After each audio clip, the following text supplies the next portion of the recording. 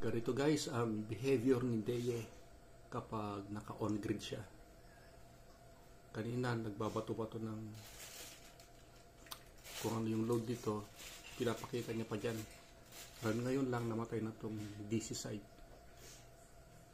At naka-off na siya, pero dito sa MTS ko naka-inverter pa rin siya. So, ibig sabihin, nagsisink in pa rin yung AC natin. AC galing sa grid at pumupunta pa rin sa load side natin. So, dumadaan pa rin dyan yung kuryente from DU. Although, naka-off na siya. Yung mga ilaw, yun. Sinusuplayan pa rin niya. Yan guys.